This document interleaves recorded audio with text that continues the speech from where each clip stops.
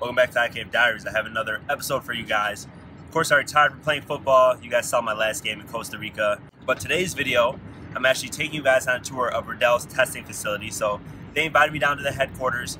You know, I live about half an hour away from them. Uh, so we're going to take a look at what's inside their headquarters, their testing facilities, and then also give you guys a sneak peek at something I'm working on with Dick's Sporting Goods.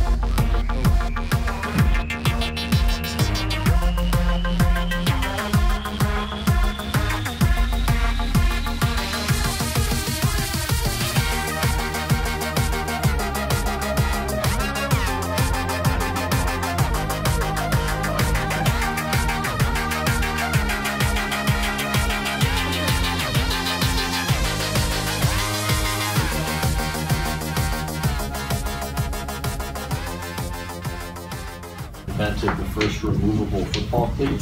So that was that was how he started out in the uh, the, the football equipment business. Um, and because and it was sort of a necessity, being the mother of invention thing. He was in the same town as Northwestern. Um, in those days, if you had to change your cleats on your football boots for playing in different playing conditions, you had to take it to the cobbler to have it done and there was one cobbler in Evanston, and Northwestern got all of that cobbler's attention when the time came to uh, to change cleats. So he found a way that he could do it himself, and he invented the screw-in removable football cleats. There's a big one there you can see right behind. The head for making it slightly bigger was kind of what it took to to get the uh, the impact attenuated material into place over the sides of the, of the head and face. So, you know, it, seemingly minor changes to the helmet, but it, uh, it led to pretty significant impact performance changes, especially in those areas. You know, we developed a whole testing protocol and some testing devices that we'll show you down below.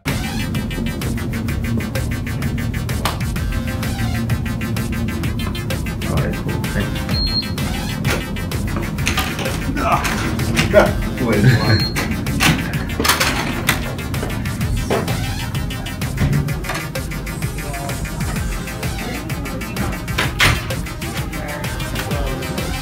onboard microprocessor, a radio transceiver, the frequency timing system component, and measure impact forces on the field that are things like transmission on the sidewalk for use in research or for genetics.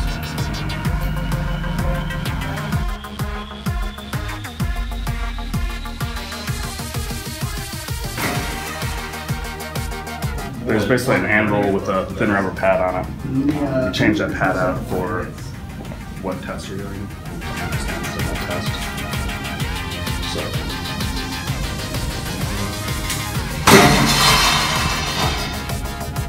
So for this test, there, there's a little bit bigger pad than you would use for a face guard test. Once you're doing an axis segregation face guard test, there's a specific thickness for that. So you drop it, so you change that pad out, and you'll drop it straight down on that face first. Make sure that everything stays together, doesn't bend, doesn't contact the face, anything like that.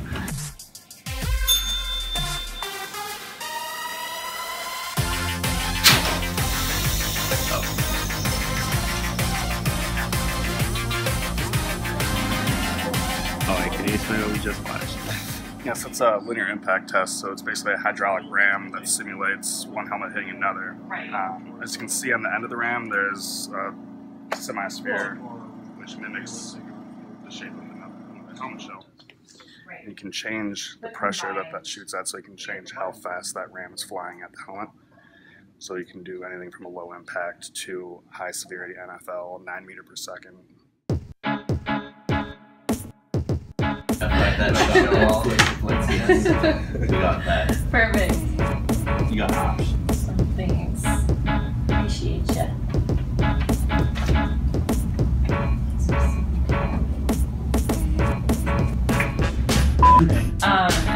Yeah, like when you when you can try to repeat the answer or the question in your answer, like for example, um, like how does safety play a role in evolution of the game? Like, safety is really important to the game because blah blah blah. Because the question's really Yeah, exactly. We'll just kind of cut in and out of some bites. Who are you and what do you do? So my name is Matt Adigya. I run I Know Football, the YouTube channel. Well, can you talk a little bit about what the channel has? What we feature Sure. on the channel? So I run the IKF channel, I Know Football, and that channel is focused on innovation in football, as well as uh, you know just the cool things coming out. So what's new in the football community? What's going to help uh, you know my viewers really understand the game better and perform at their highest level? Cool. Can you talk about your involvement with the sport of football? Sure. So my involvement with the sport of football. I'm gonna start over. I need to stop. Like Yeah, you don't have to say. You can say like I've been involved with football for however many years. And, yeah. So I first started playing football in high school. At the high school level, that was my first time playing, you know, uh, with pads uh, at all.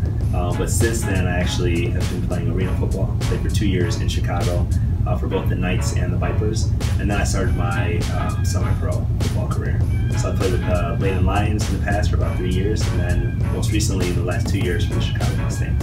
Equipment is one of the most important aspects of football. Um, not only does it protect you, obviously, uh, but there's something before. So mean, the game of football starts with with your pregame ritual. You know, getting dressed in the locker room. Um, and all that equipment that you're wearing is your, your body armor, you know, when you enter into the, the field of war, which is really what football is. Well, what do you think about the, the behind the scenes knowledge and sort of seeing how helmets are tested and like how they're developed? Like, how does that impact you as a player? What what a perfect helmet feel and look like to you? It's changing kind of like how we talked offline, like equipment, rules. Cool. I think I think we nailed it. Is there anything else you feel like you wanted to talk about in terms of of the game and or helmets specifically? No, if we Cool. covered everything that you wanted to, Yeah, yeah, I'm- yeah. I'm We're on the same page then. Oh, okay, okay. cool. I think